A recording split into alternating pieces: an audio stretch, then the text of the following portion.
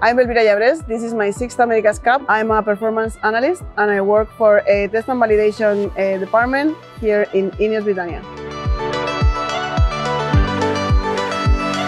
One of the best things of this of this job is that the goal is so clear. We have to win this America's Cup.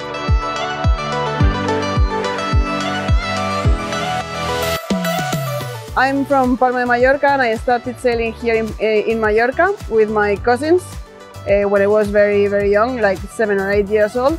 I started sailing here, but I grew up in Valencia, so I was uh, going back and forth. And once you, you get into it, you sail around the world wherever the race is.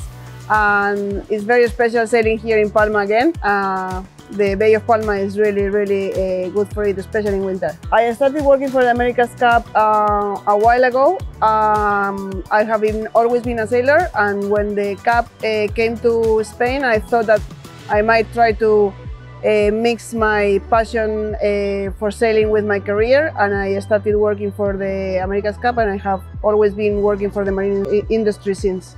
I'm part of the test and validation team our, our part in the team is uh, make sure that the data we are collecting is uh, what the other members of the, of the team need. Uh, on one side is the, the, the, sailors when they are sailing, on, on the other hand is also the, the designers when they have to make decisions about how they are going to keep going with the design.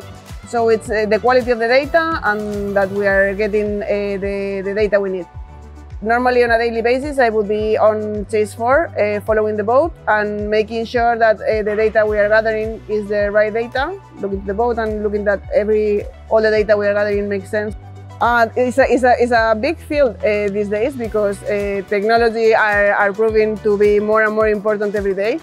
And it's not only gathering data, it's analyzing the data and making sure that the data is right. And it's getting more and more important in the industry and every day more more people are hired that have these skills. It's still a great thing uh, being able to combine my, my job with my passion. Most people that are sailors work in a bank or something like that. Look where I'm working. That's different, right? yeah, we are not that many females, but we are getting more and more, and I think it's a, a path that uh, more females should follow because it's like we don't have the opportunity because we don't have the experience and we don't have, and it's like a circle that hopefully we will we will break with the Women's America's Cup. That's one of them.